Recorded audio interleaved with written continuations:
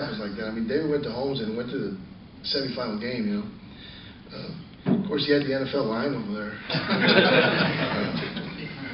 but you know, sometimes it happens.